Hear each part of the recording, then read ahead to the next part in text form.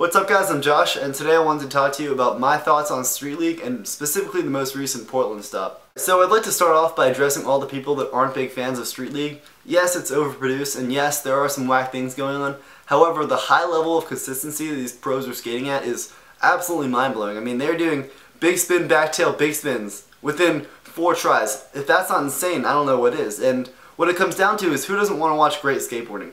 Chris Cole, after he did the alley-oop 270 lip, there is this shot of this kid, and I think he looks like a Tommy to me. Definitely a Tommy. Just absolutely mind blown. That's that's cool. That's the face I make when I watch Street League. I have a theory as to why everyone hates Nyjah. I think it's that he's so good. I mean, you see him winning all these contests, and you want everyone else to win. So it starts off as sort of a jealousy, and it slowly transitions into like an extreme hatred. Maybe it's just me. My biggest complaint about this event is the announcers. I'm not even to dignify them by finding out their names, so I'm just to say the announcers. First, they have all these dumb catchphrases, and I'm not sure if it's their own catchphrase or if they're being told to say all this stuff, but it's extremely lame. A couple that come to mind are they love to say things are sticky. They were saying the board was sticky on a switch frontside flip when it didn't flick all the way. And whenever a skater loses his balance, they're just like, oh, that rail is sticky. Another one is whenever someone bails a trick, they say the guy's a raw street skater, which kind of reminds me of when you say a fat girl has a really nice personality. It's just like trying to make them feel better about bailing the trick when all these guys are raw street skaters. Like, it doesn't even make sense. Matt Miller, Tommy Sandoval, all those guys skate street every day. Like, what are you talking about? I think the thing the announcer said that makes me most mad though is whenever P-Rod skates switch, they compare it to switch hitting in baseball for those of you who don't understand. I think what makes me most mad about that is the fact that they're assuming that everyone who watches Street League knows more about baseball than skateboarding.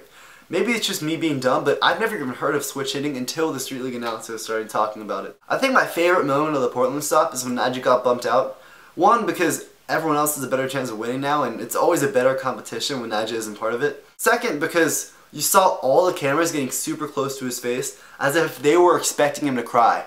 And to the naked eye, you couldn't see any tears, but I took a microscopic microscope, and that doesn't make sense, and zoomed in extra close onto his face, and guess what I found? Here's a shot of Nyjah crying again. He cried again. For those of you who watched the prelims, you saw that Geoff Rowley stepped in as a guest announcer, and that was the best thing ever. I mean, he's a team rider with uh, Luan and David Gonzalez, so he knows personal stories, unlike the other uh, announcers who just say the same thing about each skater every time they go. Whenever P-Rod takes a run, they just say, oh, here comes P-Rod, he skates a lot of switch. And, oh, here comes Luan, he's very consistent, he's from Brazil. And it just gets really boring after a while. My request for Street League is to have the guest announcers be in the finals too, not just the prelims. And that comes with one condition, as long as it's not Tony Hawk, because Tony Hawk does not know how to pronounce trick names. P-Rod took me on an emotional roller coaster this episode. He started off with that switch big heel in the impact section, and I'd like to take a second to recognize how great that is. I mean, a lot of the pros go with the sort of similar go-tos, and I've never seen you switch big heel in the section before. I do have one thing to call you out on, P-Rod. In the last round of the big section, when you landed your trick and a shot where it hadn't gone yet, I saw you celebrating, and I gotta say, it's a little bit cocky. So, great job in the win though, and that was a great street league. A couple of my favorite things that went down were Tommy Sandoval with the huge frontside flip over the volcano, Chris Cole with your kickflip fakie across the ramp gap, Dylan Rieder with your nollie cab in the impact section, that was crazy, and everything Shane O'Neill does ever. now this is a pretty hefty statement, but I think I could be a decent announcer. I mean, I know my trick names, and I like to talk, so if you ever decide to get rid of Sal Masekela, hit me up.